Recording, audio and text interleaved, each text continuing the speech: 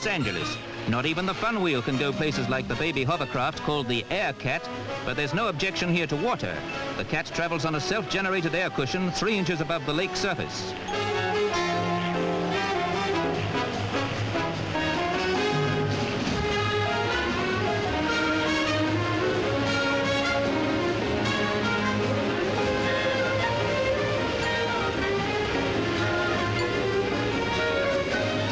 The 30 horsepower machine claims to be the first hovercraft built in the States for private sports use.